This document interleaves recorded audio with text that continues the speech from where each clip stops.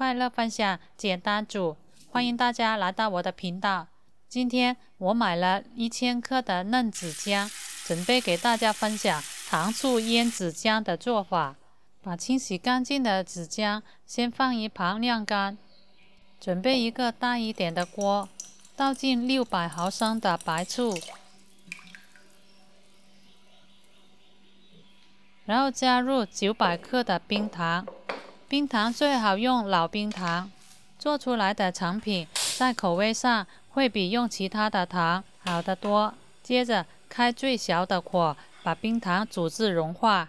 趁这个时间，我们来处理一下子姜。什么时候的子姜最好吃？就是端午节之后，中秋节之前。子姜中的子芽我们是不要的。第一步当然是把子芽切除。子姜的皮，如果没有什么时间的朋友，也可以不刮。刮出来子姜的皮也不要丢掉，用来泡脚也是非常不错。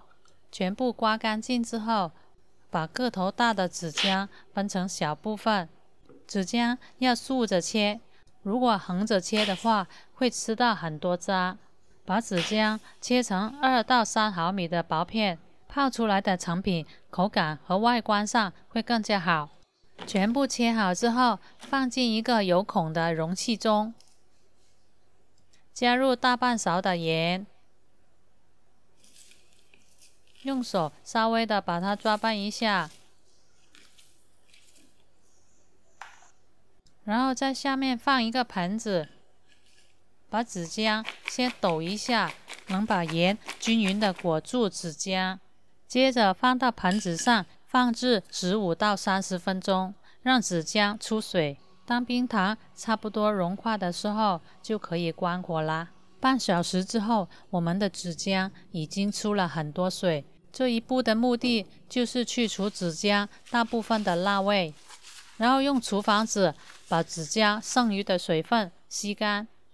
随后把纸浆放进消毒过的容器中。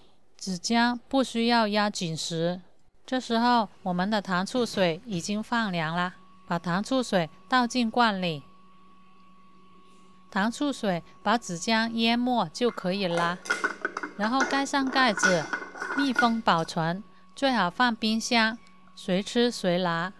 如果赶时间的，一两天就可以吃。浸泡最佳时间是十天。